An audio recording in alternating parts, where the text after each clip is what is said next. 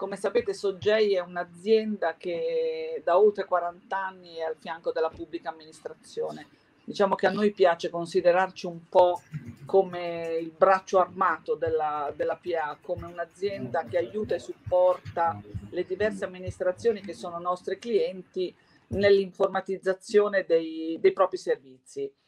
E in 40 anni di storia, diciamo anche che sono orgogliosa di averne vissuti parecchi, abbiamo assistito a tantissimi cambiamenti,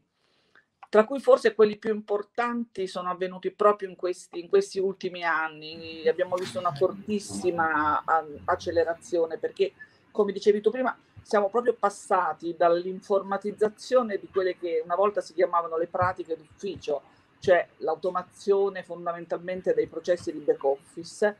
ad una informatizzazione più globale che mette al centro il cittadino e le sue esigenze, ovvero le imprese e le loro esigenze.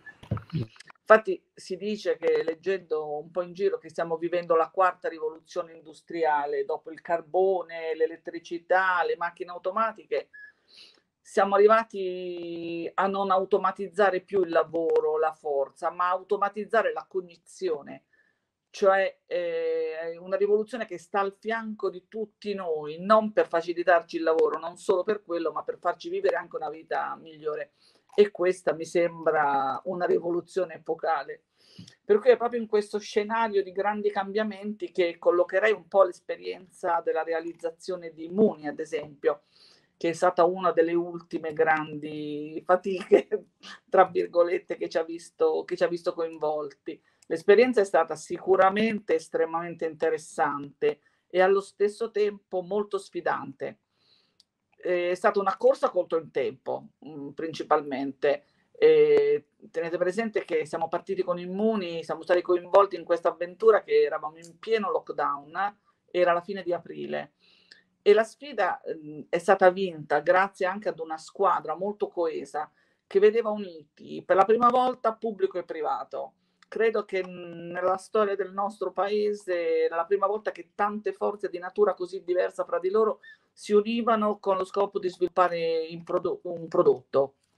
Perché la parte pubblica era rappresentata dal eh, Ministero dell'Innovazione, della Salute, la Ragioneria Generale dello Stato, da noi, da Soggei e da, dal garante della privacy, perché mai come in questo caso possiamo parlare di privacy by design per il privato c'era chiaramente Apple, c'era Google, c'era Bending Spoon, c'era Huawei che è entrata dopo.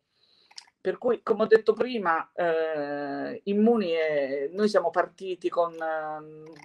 con, il, con diciamo, il, coinvolgimento di Soggei, è iniziato alla fine, alla fine di aprile. E se ricordate, eh, poi Immuni è stata rilasciata sugli store a partire dalla fine di maggio e scaricabile dal, dagli utenti a seguito del parere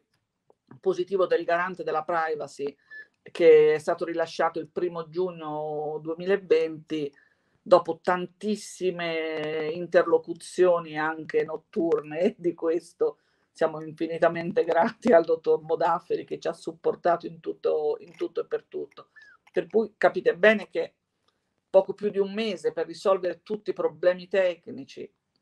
i framework di Apple e Google che sono stati rilasciati con qualche giorno di ritardo e come tutte le cose non erano perfetti al primo rilascio eh, e problemi amministrativi, decreti da far uscire, organizzazione del processo di sblocco de- del telefono e del processo proprio sul territorio.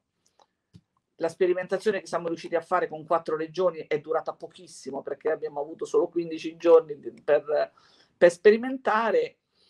e diciamo che eh, costantemente noi ci siamo tenuti in contatto con, con, il garante, come ho detto prima,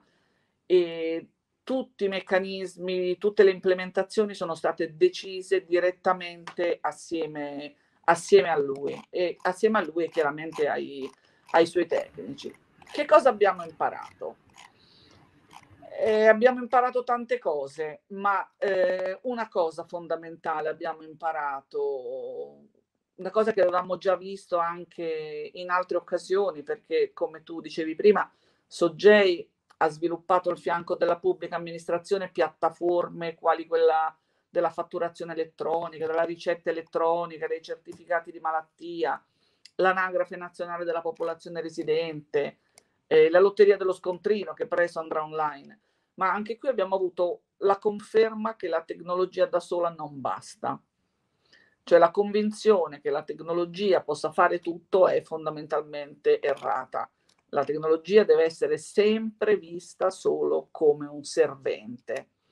Se vogliamo sviluppare delle piattaforme di successo, dobbiamo continuare a mettere al centro sempre di più i cittadini,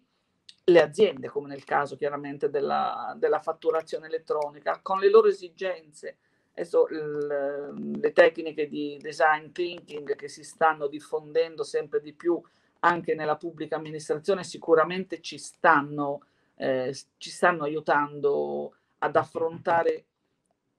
questi temi in maniera mh, mm, più semplice, senza preconcetti, chiaramente sempre nel rispetto della privacy e più in generale dell'etica. Noi dobbiamo imparare a stare al fianco dei cittadini, delle imprese, dobbiamo imparare ad ascoltare le loro esigenze e adattare i nostri sistemi non solo alle norme, ma li dobbiamo modellare nel rispetto della vita reale. Teniamo presente che eh, negli ultimi due anni è stato creato il 90% dei dati mai generati nell'intera storia dell'umanità e tenendo ben presente questo, non ci dobbiamo dimenticare, soprattutto se parliamo di etica, che i nostri sforzi da adesso in poi si devono concentrare sugli algoritmi dell'intelligenza artificiale e sui dati che le sono serventi. Non ci dobbiamo dimenticare che i dati, assieme alla grande capacità elaborativa che eh, ultimamente negli ultimi anni è diventata sempre più accessibile anche a prezzi contenuti, sono riusciti a rendere finalmente funzionanti delle famiglie di algoritmi su cui c'erano data scientist, allora non si chiamavano così, che lavoravano già dagli anni 60. Nella pubblica amministrazione siamo ancora abbastanza agli inizi e fortunatamente voglio dire molto cauti, perché siamo comunque fermamente convinti che ogni algoritmo, qualsiasi esso sia, deve includere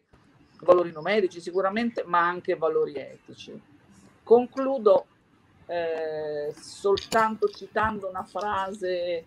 del professor Benanti, di padre Benanti, che dice che è l'etica che deve contaminare l'informatica.